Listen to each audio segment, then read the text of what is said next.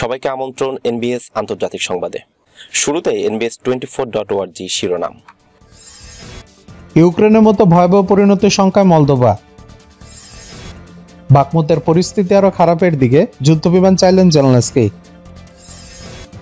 প্রতিরক্ষা ব্যবস্থা ঢেলে সাজাচ্ছে জাপান, কিনছে চারশো ক্ষেপণাস্ত্র। তাণ্ডব চালিয়ে ফিলিস্তিনিদের কয়েকশো বাড়ি গাড়ি জ্বালিয়ে দিল ইসরায়েলিরা।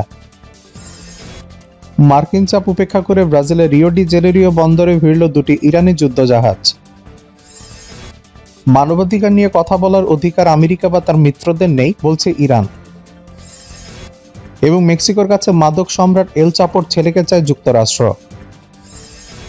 দর্শক, ইরানের পররাষ্ট্রমন্ত্রী হোসেন আমির আবদুল্লাহিয়ান বলেছেন, যুক্তরাষ্ট্র এবং বেশ কিছু পশ্চিমা দেশ তাদের রাজনৈতিক লক্ষ্য চরিতার্থ করার কাজে মানবাধিকার সংক্রান্ত বিষয়গুলোর অপব্যবহার করছে। পশ্চিমা দেশের রাজনৈতিক লক্ষ্য বাস্তবায়নের হাতিয়ারে পরিণত হয়েছে মানবাধিকার। এসব পশ্চিমা দেশের মানবাধিকার নিয়ে কথা বলার কোনো অধিকার নেই। এই বিষয়টিকে আপনি কীভাবে দেখছেন? ভিডিওটিতে একটি লাইক দিয়ে কমেন্ট করে জানিয়ে দিন আপনার মূল্যবান মন্তব্য।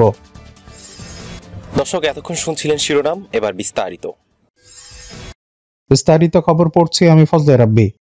ইউক্রেনের মতো ভয়াবহ পরিণতির সংখ্যায় মলদোভা।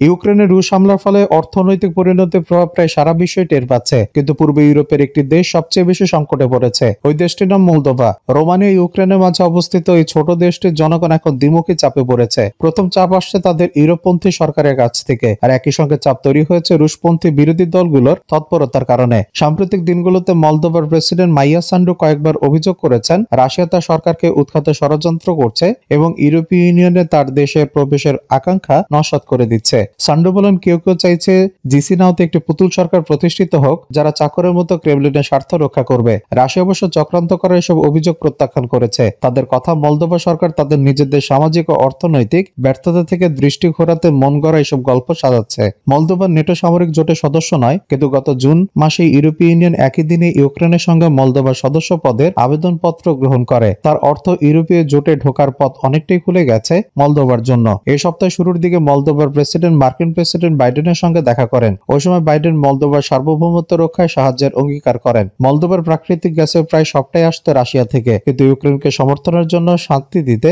গ্যাসের সরবরাহ অর্ধেক কমিয়ে দিয়েছে মস্কো। শুধু তাই নয় ইউক্রেনের বিদ্যুৎ গ্রিডের উপর রাশিয়া ক্রমাগত হামলার প্রভাব পড়ছে মলদোভার উপরও। দুই হাজার তেইশ সালে মলদোভাতে স্থানীয় নির্বাচন, দুই হাজার চব্বিশ সালে প্রেসিডেন্ট নির্বাচন। বাকমুতের পরিস্থিতি আরও খারাপের দিকে যুদ্ধবিমান চাইলেন জেলনেসকি।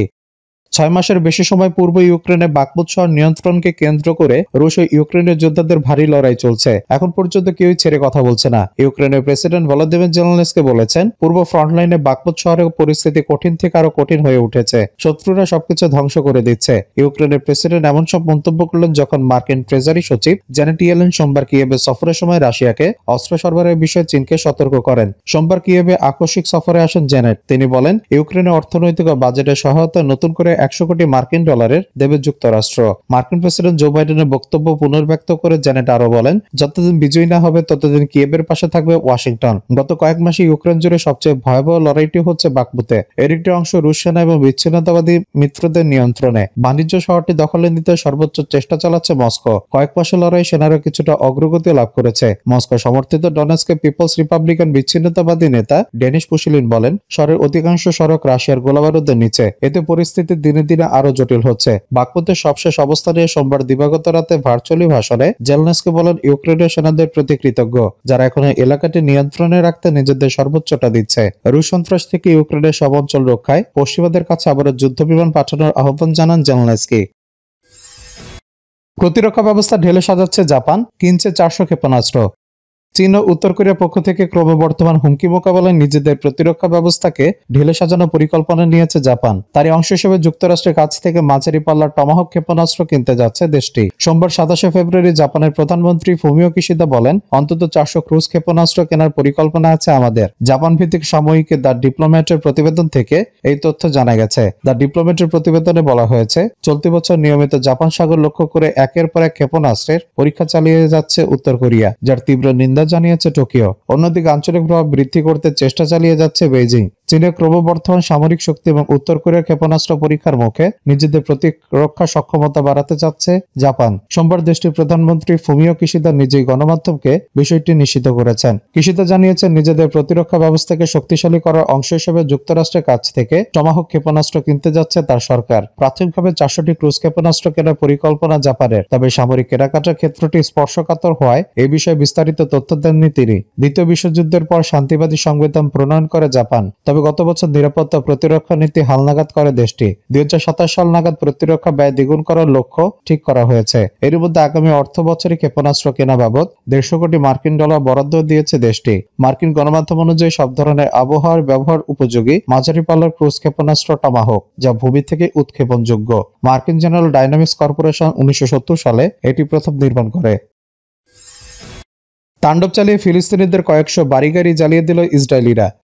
ফিলিস্তিনের পশ্চিম তীরে নাবলুসে তাণ্ডব চালিয়ে কয়েকশো বাড়িগাড়ি জ্বালিয়ে দিয়েছে অবৈধ বসতি স্থাপনকারী ইসরায়েলিরা। রবিবার নাবলুসের হাওয়ারা নামক এক গ্রামে দুই ইসরায়েলিকে গুলি করে হত্যা করেন এক ফিলিস্তিনি। এই ঘটনার পর রবিবার রাতে সেনাবাহিনীর সহায়তায় নাবলুসে ব্যাপক এই ধ্বংসযজ্ঞ চালায় ইসরায়েলিরা। আল জাজিরা জানিয়েছে, অবৈধ বসতি স্থাপনকারী ইসরায়েলিরা অন্তত তিনশোটি হামলা চালিয়েছে। এই হামলাকে ফিলিস্তিনি কর্মকর্তারা সুসংগঠিত হত্যা সাধন এবং লুণ্ঠন হিসেবে অভিহিত করেছেন। নাবলুসের দক্ষিণ দিকের গ্রাম যাত্রাতে রবিবার সামুয়েল আক্তাস নামে সাঁত্রিশ বছর বয়সী এক ব্যক্তির পেটে গুলি ছড়ে ইসরায়েলিরা। ওই গুলিতে আহত হয়ে পরের দিন মারা যান তিনি। ইসরায়েলিদের হাতে প্রাণ হারানো স্বামী মাত্র পাঁচ দিন আগে তুরস্ক থেকে ফিরেছিলেন। ভূমিকম্পে ক্ষতিগ্রস্তদের সহায়তায় তুরস্কে গিয়েছিলেন তিনি।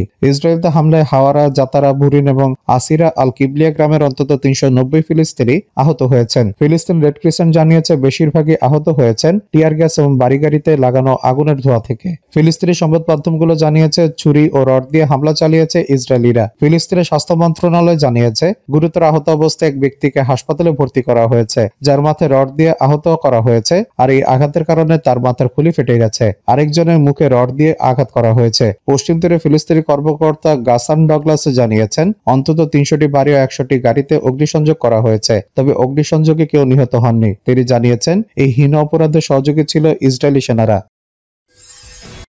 মার্কিন চাপ উপেক্ষা করে ব্রাজিলের রিও ডি জেনেরিও বন্দরে ভিড়ল দুটি ইরানি যুদ্ধজাহাজ।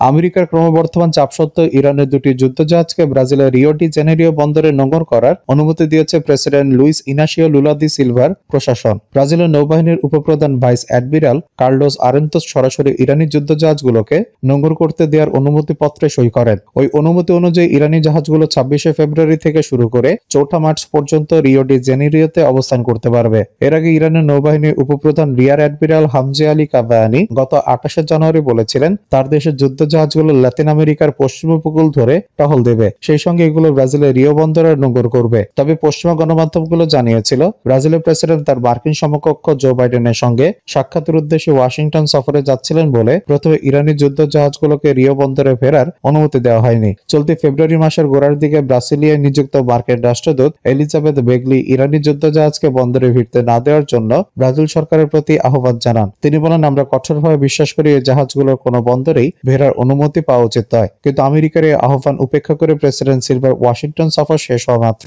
ইরানি যুদ্ধজাহাজগুলোকে রিও বন্দরে নোঙর করার অনুমতি দেয় ব্রাজিল। আমেরিকা লাতিন আমেরিকাকে নিজের আঙিনা বলে মনে করেন। সেখানে ইরানি যুদ্ধজাহাজের উপস্থিতি ওয়াশিংটনকে ক্ষুব্ধ করেছে।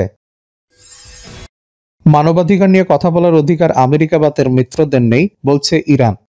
মার্কিন যুক্তরাষ্ট্র এবং তার নেতৃত্বাধীন বেশ কিছু পশ্চিমা দেশ তাদের রাজনৈতিক লক্ষ্য চরিতার্থ করার কাজে মানবাধিকার সংক্রান্ত বিষয়গুলোর অপব্যবহার করছে বলে অভিযোগ করেছে ইরান। সোমবার সুইজারল্যান্ডের জেনেভা শহরে মানবাধিকার পরিষদের বাহান্নতম নিয়মিত বৈঠকে বক্তৃতা দিতে গিয়ে কথা বলেন ইরানের পররাষ্ট্রমন্ত্রী হোসেন আমির আবদুল্লাহিয়ান। তিনি বলেন, জাতিসংঘের মানবাধিকার মেকানিজমের উচিত প্রকৃত সংলাপ, গঠনমূলক আদান প্রদান এবং সম্মানজনক সহযোগিতার মাধ্যমে মানবাধিকার রক্ষায় উন্নয়ন ঘটানো। জাতিসংঘের মানবাধিকার পরিষদকে নিজেদের হাতিয়ার হিসেবে ব্যবহার করার জন্য পশ্চিমা দেশগুলোর সমালোচনা করেন ইরানের পররাষ্ট্রমন্ত্রী। তিনি বলেন, এই পরিষদ সহ জাতিসংঘের মানবাধিকার বিষয়ক প্রতিষ্ঠানগুলো দুঃখজনকভাবে আমেরিকার নেতৃত্বাধীন বেশ কিছু পশ্চিমা দেশের রাজনৈতিক লক্ষ্য বাস্তবায়নের হাতিয়ারে পরিণত হয়েছে।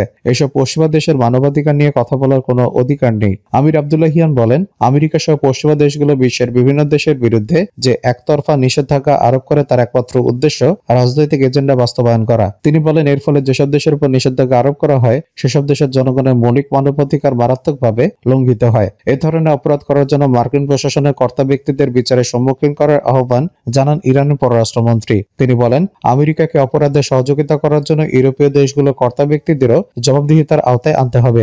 ইরানের পররাষ্ট্রমন্ত্রী বলেন কাজে মানবাধিকার নিয়ে সুন্দর সুন্দর বুলি আওড়ানোর অধিকার আমেরিকা বা তার ইউরোপীয় মিত্রদের নেই। তিনি ইরানের সাম্প্রতিক দাঙ্গা উস্কে দেওয়ার জন্য পশ্চিমা দেশগুলোকে দায়ী করেছেন। মেক্সিকোর কাছে মাদক সম্রাট এল চাপোর ছেলেকে চায় যুক্তরাষ্ট্র। মেক্সিকোর মাদক সম্রাট ওয়াকিন গুজম্যানের ওরফে এল চাপোর ছেলেকে চেয়েছে যুক্তরাষ্ট্র।